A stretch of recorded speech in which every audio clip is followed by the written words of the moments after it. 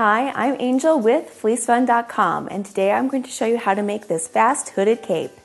This fast hooded cape can be made in under an hour. Its simple but elegant design makes it a versatile costume piece. For this project, you will need the following. Materials you will need.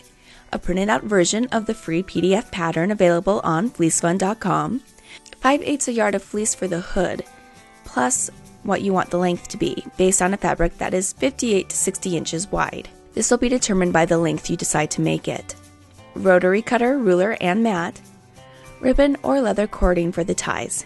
Alright, once you have all those items, it's time to get started. You will need to assemble and cut out the pattern. Instructions can be found on FleeceFun.com's channel. Cut out two pieces of the hood, set aside. Next, you're going to need to do some measuring to determine the length of your cape. The length of the cape is up to you. To determine the length of your cape, measure from your collarbone to where you want the cape to fall. Note, this cape is designed to have a little rise in the front. This is to help to prevent tripping on it. So the length you measure will be at the longest point of the cape in the back. If you desire, cut off the selvage from the cloth. I confess in the pattern example I didn't do this. Take the negative cutout and place it on the edge of the folded fabric. Make sure the part that is supposed to be on the fold is, and cut out the bottom of the cape.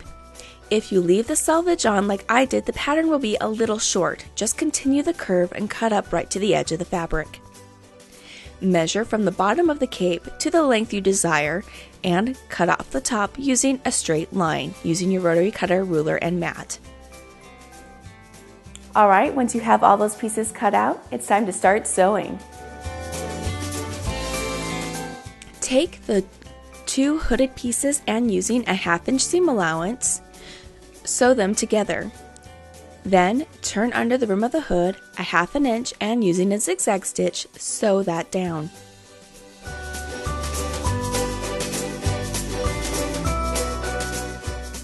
Alright, now that you've made the hood, it's time to attach it to the cape.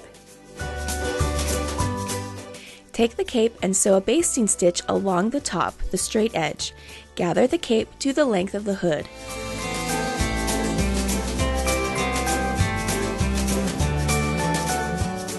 pin right sides together.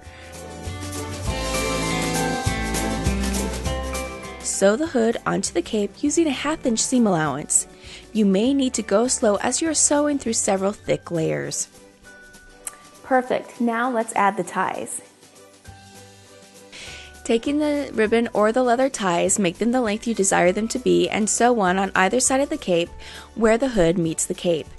Trim your threads and you're finished. All right, and you're finished. You have a great cape that is the perfect length for you that works great with many different outfits. And I'll tell you a secret. The hood to this cape will also fit on the Red Riding Hood cape and vice versa. The hood on the Red Riding Hood cape will fit on this cape as well.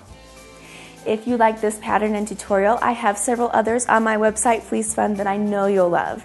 All my patterns and tutorials are free. Also, be sure to check out Fleece Fun on Pinterest, Instagram, and Facebook.